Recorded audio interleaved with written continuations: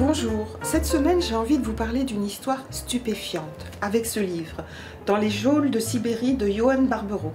C'est une histoire vraie, absolument passionnante, elle se lit comme un roman, mais tout est vrai dans ce livre. Johan Barbero est un Français qui a obtenu en France un diplôme euh, de philosophie, mais dont le rêve était de vivre en Russie.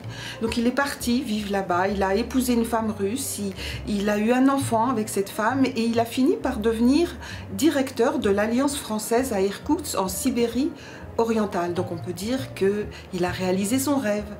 Sauf qu'il a viré au cauchemar son rêve avec l'intrusion du FSB, descendant du KGB, qui vient le chercher et il se retrouve en prison dans les geôles de Sibérie, accusé euh, de pédophilie et de diffusion d'images pornographiques sur le net. Ça s'appelle un compromat en Russie, c'est-à-dire un dossier compromettant quand on veut neutraliser quelqu'un pour des raisons, il ignore totalement lesquelles.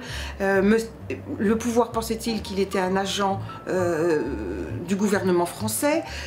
Avait-il approché des personnalités qui semblaient menacer ce gouvernement? Il ne sait pas, en tout cas, il est là.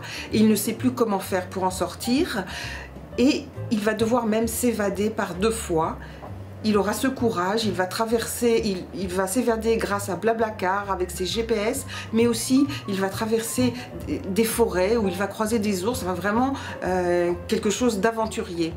Mais il n'aura jamais la réponse à ces questions. Pourquoi est-ce qu'il lui est arrivé toutes ces choses? De retour en France, bien sûr, euh, son aventure est un peu médiatisée, il est quand même interrogé par les autorités policières et quand même on le soupçonne encore un petit peu d'avoir été un agent français. Donc il se décide à écrire ce livre parce que son souci c'est vraiment de dire que non, tout ça a été fallacieux.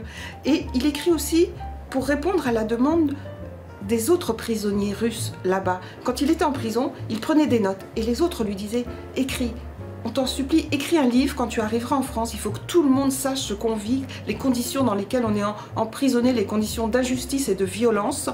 Et, aussi pour répondre à la demande d'amis qui sont restés là-bas et d'amis en France. Donc voilà, il écrit pour les autres et c'est vraiment euh, passionnant. On sait tous ce qu'est la Russie de Poutine, une Russie mafieuse, euh, au capitalisme ultra sauvage, mais qui a en plus une sorte de culture de la tyrannie avec euh, les habitudes soviétiques. C'est de tout ça qu'a su faire euh, Johan Barbero.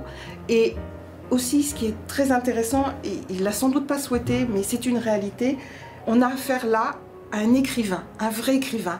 Son style est très beau, euh, notamment quand il partage avec nous son amour de la Russie malgré tout ça. Donc pour toutes ces raisons, voilà, on passe un, très bon et étrange moment avec ce livre dans les geôles de Sibérie. Je vous le recommande.